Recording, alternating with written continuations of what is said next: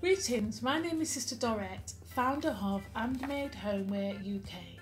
Handmade Homeware UK is a bespoke homeware company.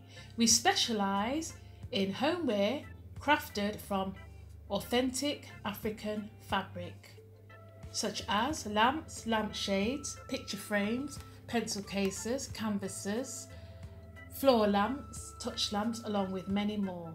I will be at the Timbukutu African Caribbean Trade Fair on Saturday, 17th and 18th of August from 2pm to 8pm at the Heritage Centre, Wolverhampton, WV6 OAA, along with many other African Caribbean businesses.